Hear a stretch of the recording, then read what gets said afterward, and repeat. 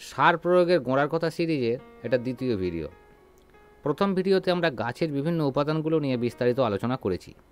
আজকের পর্বে থাকছে গাছের মাটিতে প্রয়োজনীয় বিভিন্ন উপাদানগুলো ঘাটতি হলে অথবা অতিরিক্ত হলে লক্ষণ দেখে বোঝার উপায় এই নিয়ে বিস্তারিত আলোচনা।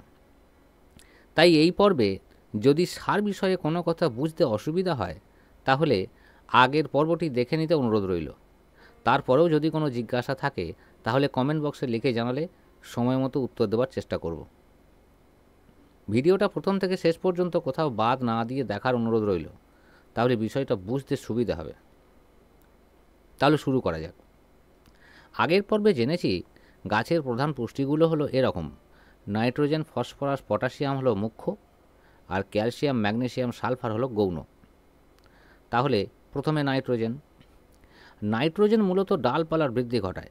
যেসব গাছে নাইট্রোজেনের ঘাটতি রয়েছে, তাদের বৃদ্ধি কমে যায়, পাতার বৃদ্ধি বাধাপ্রাপ্ত হয়। ছোট পাতা বিশেষ করে বাধাপ্রাপ্ত হয়। সেই সঙ্গে দুটো পাতার মধ্যবর্তী পর্বগুলো খুব ছোট হয়ে যায়। পাতার রং ফ্যাকাশে হয়ে যায়। আর অতিরিক্ত নাইট্রোজেন গাছের অত্যধিক বৃদ্ধি ঘটাতে পারে। আর পাতা ও ডালগুলো অত্যধিক রসালো করে তোলে। ফলে পোকামাকড়ের উপদ্রব বেড়ে যেতে পারে। অত্যধিক নাইট্রোজেন ব্যবহার করলে উদ্ভিদে ফল, ফুল আসতে দেরি হয়। বদলে বেশি বেশি পাতা তৈরি হয়। ফুল ফলের উৎপাদন কমে যায় আর ফল কোনোভাবে এসে গেলেও ফল পাকতে দেরি হয়। আবার অতিরিক্ত নাইট্রোজেন মাটির পিএইচ ভ্যালু কমিয়ে দিতে পারে। পিএইচ ভ্যালু কী এবং কীভাবে ঘরেই মাটির পিএইচ ভ্যালু পরীক্ষা করে নেওয়া যায় তা নিয়ে পরবর্তীতে বিস্তারিত আলোচনার ভিডিও করব। এবার ফসফরাস। ফসফরাস শিকড় ও ফুল ফলের বৃদ্ধি ঘটায়। শিকড়ের বৃদ্ধি বলতে মূলত নতুন শিকড় জন্মাতে সাহায্য করে। ফসফরাসের অভাব অঙ্কুরের বৃদ্ধিকে বাধা দেয়, পাতাগুলো মলিন হয়ে পড়ে, নিস্তেজ, নীলচে সবুজ রঙের হয়ে যায়। আর গুরুতর অভাব হলে আরও ফ্যাকাশে হতে শুরু করে। আবার মাটিতে অত্যধিক ফসফরাস, উদ্ভিদের প্রয়োজনীয় গৌণ পুষ্টি উপাদানগুলো, বিশেষ করে আয়রন, জিঙ্ক ইত্যাদি, এগুলোকে গ্রহণ করার ক্ষমতা কমিয়ে দেয়। যেখানে মাটি পরীক্ষা করে দেখা যেতে পারে যে মাটিতে পর্যাপ্ত পরিমাণে ওই সমস্ত পুষ্টি উপাদানগুলোই বর্তমান রয়েছে। এবার আসি মুখ্য তিনটি পুষ্টিগুণের মধ্যে শেষ উপাদান পটাশিয়ামের কথায়। পটাশিয়াম, শিকড়, কাণ্ড, ডালপালা এক কথায় বলতে গেলে পাতা, ফুল, ফল ছাড়া সমগ্র গাছটাকেই মজবুত করে তোলে। সালোক সংশ্লেষ প্রক্রিয়া সহায়তা করে। রোগ প্রতিরোধ ক্ষমতা বৃদ্ধি করে। আবার পটাশিয়ামের ঘাটতি হলে গাছগুলোর গ্রীষ্মকালীন সময়ে সূর্যের কড়া তাপ সহ্য করার ক্ষমতা কমে যায়। ফলে রৌদ্রোজ্জ্বল দিনে শুকিয়ে যাওয়ার প্রবণতা দেখা যায়। গাছের সামগ্রিক চেহারা শুকিয়ে যায়। আর একটা লক্ষণ দেখেও বোঝা যায় যে পটাশিয়ামের ঘাটতি হচ্ছে। গাছে কচি পাতার মুকুল মুকুল অবস্থাতেই পড়ে থাকে দীর্ঘদিন। তার বৃদ্ধি পেয়ে পাতায় পরিণত হতে চায় না। অতিরিক্ত পটাশিয়াম উদ্ভিদকে অন্যান্য খনিজ পুষ্টি, বিশেষ করে ম্যাগনেসিয়াম, আয়রন, জিঙ্ক এবং ক্যালসিয়াম গ্রহণ করতে বাধা দেয়, ফলে উদ্ভিদের সামগ্রিক পুষ্টি বাধাপ্রাপ্ত হয়। অতএব দেখা যাচ্ছে, সারের ঘাটতি হলেও যেমন গাছ রুগ্ন হয়ে পড়ে, তেমনি প্রয়োজনের অধিক হলেও গাছের স্বাস্থ্যকর রূপটা হারিয়ে যায়। গাছে কোনো সার বেশি হলো নাকি কম, সেটা প্রাথমিকভাবে শুধুমাত্র পাতা দেখে কেমন করে বুঝব সেটা একটু দেখে নিই। ছবিতে দেখা যাচ্ছে, প্রথম পাতাটার রং হলো স্বাভাবিক। অর্থাৎ একটা স্বাস্থ্যকর গাছের পাতা এই রকম হবে। প্রসঙ্গত বলে রাখা ভালো, এটা কোনো বিশেষ এক প্রকার গাছের পাতা, তাই স্বাস্থ্যকর গাছের পাতা এই রকম হবে। এর মানে এটা নয় যে গাছটি স্বাস্থ্যকর, তার পাতা এই রকমই হবে। এখানে বলতে চাওয়া হচ্ছে যে, স্বাস্থ্যকর গাছের পাতার ঔজ্জ্বল্য রঙের জেল্লা কেমন হতে পারে?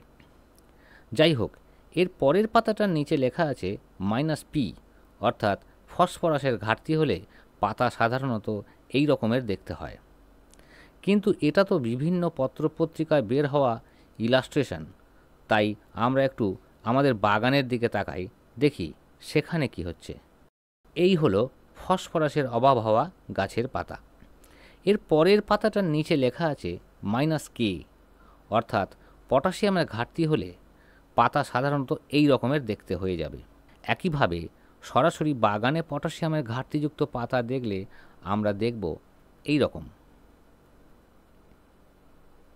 এর পরের পাতাটার নিচে লেখা আছে মাইনাস এন, অর্থাৎ নাইট্রোজেনের ঘাটতি হলে পাতা সাধারণত এই রকমের দেখতে হয়ে যায়।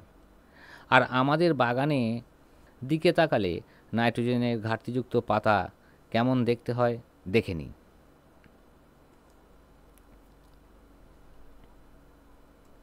ছটি প্রধান উপাদানের মধ্যে তিনটি মুখ্য উপাদান এতক্ষণ আলোচিত হলো।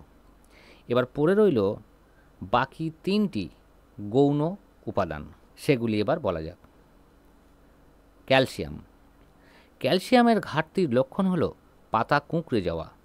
কুঁড়ি নষ্ট হয়ে যাওয়া। সেই সাথে সাথে নতুন শিকড়ের ডগাও নষ্ট হয়ে যায়। যদিও সেটা মাটির তলায় থাকে, তাই সবসময় আমাদের পক্ষে সেটা দেখা সম্ভব হয়ে ওঠে না। আসলে ক্যালসিয়ামের অভাবে গাছ যে অংশগুলো দিয়ে নিজেকে বড় করে তোলে, সেই অংশগুলো আক্রান্ত হয়। আবার মাটিতে ক্যালসিয়াম বেড়ে গেলে গাছের অন্য সমস্যা হতে পারে। অতিরিক্ত ক্যালসিয়াম মাটিকে খুব ক্ষারীয় করে তুলতে পারে। ফলে গাছের বৃদ্ধির হার কমে যায়। আসলে অধিক ক্যালসিয়াম গাছকে মাটির অন্যান্য পুষ্টি উপাদানগুলো গ্রহণ করতে বাধা দেয়। বিশেষত ফল গাছে ক্যালসিয়াম বেড়ে গেলে ফলের গুণগত মান ভালো হয় না। পরবর্তীতে সেই গাছের পাকা ফল অল্প কয়েকদিনেই নষ্ট হয়ে যাওয়ার সম্ভাবনা থাকে।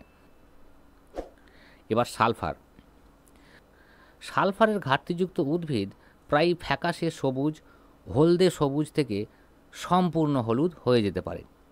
এই বৈশিষ্ট্যগুলো যা নাইট্রোজেনের ঘাটতিযুক্ত উদ্ভিদের বৈশিষ্ট্যগুলোর সঙ্গে প্রায় একই। প্রথমে কচি পাতায় এই লক্ষণ ধরা পড়ে। আবার সালফারের অত্যধিক প্রয়োগ নাইট্রোজেনের মতো মাটিতে পিএইচ ভ্যালু কমিয়ে দিতে পারে, ফলে মাটি অ্যাসিডিক বা আম্লিক হয়ে পড়ে। গাছের সার্বিক বৃদ্ধি তখন থমকে যায়। এবার তিনটি গৌণ পুষ্টি উপাদানের শেষ উপাদান ম্যাগনেসিয়াম। ম্যাগনেসিয়ামের অভাবেও পাতা দেখাবে ফ্যাকাশে। আর মাটিতে ম্যাগনেসিয়াম বেশি হয়ে গেলে গাছ মাটি থেকে ক্যালসিয়াম গ্রহণ করতে পারবে না, বৃদ্ধি কমে যাবে। ফলে পাতাগুলো গাঢ় রং ধারণ করবে। এতক্ষণ আমরা গাছের মুখ্য এবং গৌণ মোট ছটা পুষ্টি উপাদানের আধিক্য এবং ঘাটতি হলে কি কি হতে পারে এবং সেগুলো প্র্যাকটিক্যাল লাইফে আমরা বুঝব কীভাবে তা নিয়ে আলোচনা করলাম। এর পরেও পড়ে আছে অপ্রধান তেরোটা পুষ্টিগুণ। এখন এগুলো নিয়েও যদি বিস্তারিত আলোচনা করতে বসি, অনেকের কাছেই বোরিং লাগবে। আর লাগাটাই স্বাভাবিক। আমরা করি বাগান চর্চা, আর তাতে এমন কিছু গভীর জ্ঞানের দরকার পড়ে না যে এইভাবে আদ্যপ্রান্ত আলোচনার প্রয়োজন। কিন্তু প্রথম ও প্রধান ছটা উপাদান নিয়ে এই যৎকিঞ্চিত আলোচনার প্রয়োজন আছে। কারণ আমরা যে সার প্রয়োগ করি, সেগুলো অধিকাংশ ক্ষেত্রে এই মূল উপাদানগুলোর জন্যই নির্ধারিত। দু একটা ব্যতিক্রম ছাড়া। বাকি পরোক্ষ তেরোটা উপাদানের জন্য বেশিরভাগ ক্ষেত্রে যে সার আমরা ব্যবহার করি, সেগুলো হয় কম্বাইন ফার্টিলাইজার অথবা জৈব সার। আর অধিকাংশ জৈব সারে একাধিক পুষ্টি উপাদান বর্তমান থাকে, তা আমাদের মোটামুটি সবারই জানা। তবে অবশ্যই এখানেও দু একটি ব্যতিক্রম আছে, অর্থাৎ এক একটি উপাদানের জন্য এক একটি বিশেষ বিশেষ ফার্টিলাইজার পাওয়া যায়। যেমন বোরনের ঘাটতি মেটাবার জন্য পাওয়া যায় বোরন পাউডার, একইভাবে আয়রন পাউডার, জিঙ্ক পাউডার ইত্যাদি। তবে ইন জেনারেল বলতে গেলে এগুলোর ঘাটতি বা আধিক্য দুটোই গাছ এবং গাছের মাটির পক্ষে ক্ষতিকারক। আসলে এই মোট উনিশটি পুষ্টি উপাদান একে অপরের সাথে এমনভাবে সম্পর্কযুক্ত যে একটার কম বেশি হলে অন্যগুলোর মধ্যেও এর প্রভাব পড়ে। যাই হোক, পরবর্তীতে এক একটা ভিডিওতে এই বিভিন্ন ফার্টিলাইজার, মাটির পিএইচ ভ্যালু ঘরেই কীভাবে পিএইচ ভ্যালু পরীক্ষা করে নেওয়া যেতে পারে, ইত্যাদি বিষয়গুলোর উপরে আলোচনা নিয়ে ভিডিও করব।